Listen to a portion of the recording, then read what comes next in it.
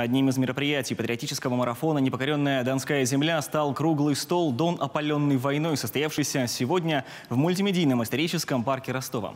В мероприятии приняли участие преподаватели донских вузов, профессора и студенты. Участники обсудили основные цели проекта без срока давности, такие как сохранение исторической памяти прошлого и борьба с искажением истории. Доцент Южного федерального университета рассказал, почему так важно сегодня проводить подобные мероприятия.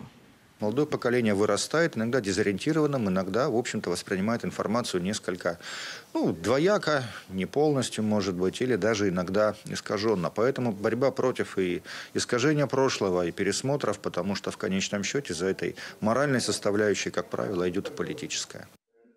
Коснулись также и значимости музейных учреждений для сохранения памяти о событиях Великой Отечественной войны.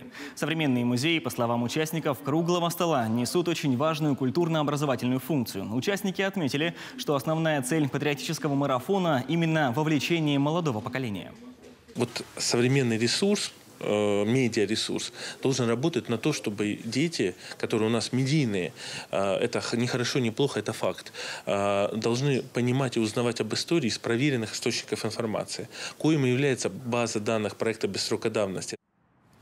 Мероприятия в рамках патриотического марафона продлятся до 28 февраля.